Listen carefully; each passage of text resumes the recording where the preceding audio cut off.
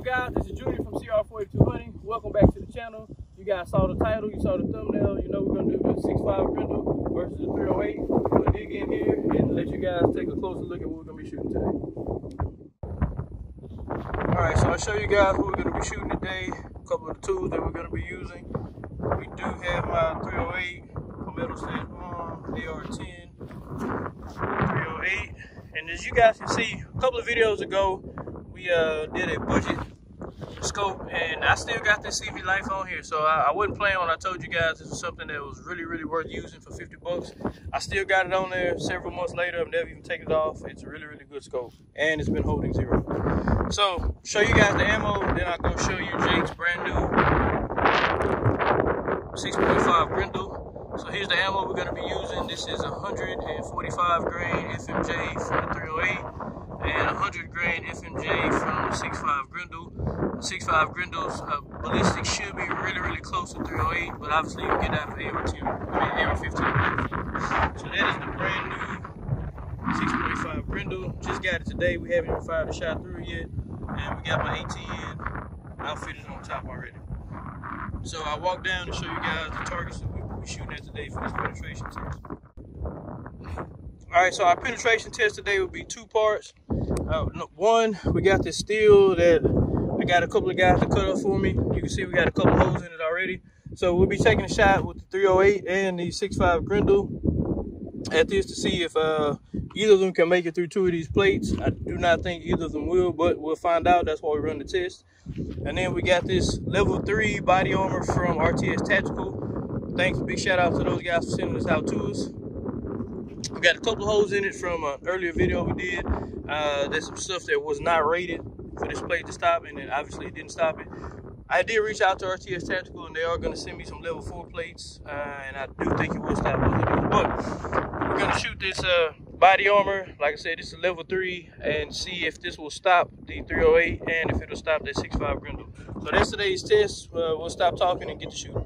Before we shoot, I just wanted to show you guys, we always apologize for the wind, we're literally right on the water. So every time we shoot out here at our range, it's always gonna be windy. Anyway, we have a lot of fun. Just wanted to let you guys know. Okay, first shot we're about to take with the 6.5 Grendel. All right, on you, Jake. All right, let's go check it out.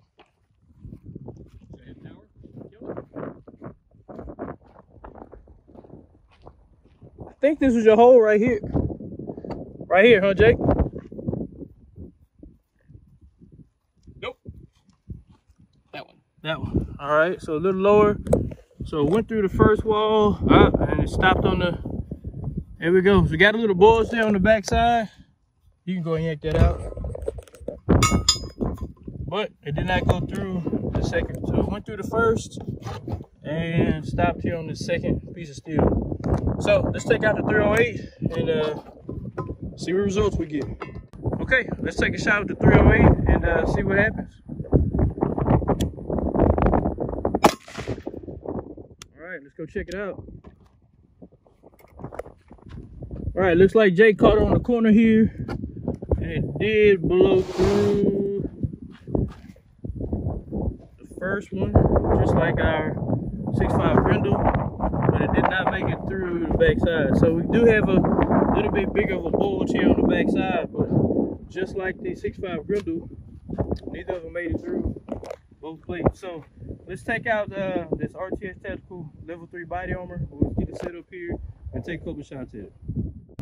All right, we got that uh, level 3 plate set up from RTS Tactical. We'll take a shot with the 6.5 Grendel and see if we can get through that plate. All right, Jake.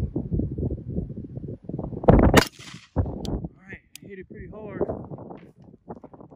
Check it out.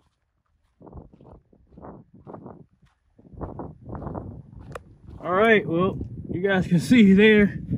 This is where he caught it and barely a little little indentation there, but obviously it didn't go through. Still only got two holes in this. I won't spoil it and tell you guys what did make it through, but it, this plate was not rated for uh, the two rounds that made it through. So this plate has successfully stopped everything that we've put through it. Uh, it's really, really good. Uh, good quality. I definitely recommend you guys checking out RTS Tactical.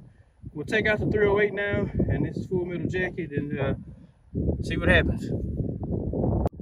Okay, let's take this shot with the 308. This is 145 grain FMJ and uh, see what happens with this plate. All right, it definitely sounded like it hit that plate a little harder than me, but go check it out. All right, we smacked it right here. Maybe a little bit uh, bigger of an indentation than the 6.5 Grendel, but at the end of the day, plate held up. Hey Jay, can you yank that out? Show them the backside. End of the day, it held up. Still got our two holes from our other two rounds, but nothing, no, not even any dimpling. Flip it back over for me. Uh, you guys can see, uh, RTS Tactical did the trick again. This uh, body armor from RTS Tactical is really, really good stuff. I'll leave a link down in the description where you guys can go check out RTS Tactical and get a little discount with my discount code. Appreciate you guys checking out this video with the 6.5 Grendel and the 308. We have a lot more videos coming with those two uh, really, really soon. Junior out.